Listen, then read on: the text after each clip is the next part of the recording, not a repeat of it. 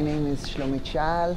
I'm a professor of ophthalmology, I'm a retina surgeon, and I'm a clinician scientist.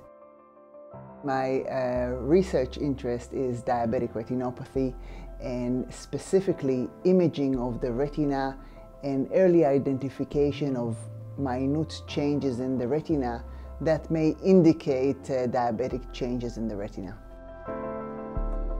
I was always interested in basic science research but also in translational research and in recent years I've been working with, uh, in collaboration with bioengineers to analyze images of the retina automatically. So we developed an algorithm that uh, is a machine learning system that can identify small changes in the retina in diabetic patients. Basically, this is applicable for patients that have diabetes but do not have an eye disease that we can identify in the clinic yet. Nice eyes. This is important because people can be treated for changes of, of diabetic retinopathy and as you know, uh, diabetic retinopathy is one of the major diseases that causes blindness in the world, especially in young people.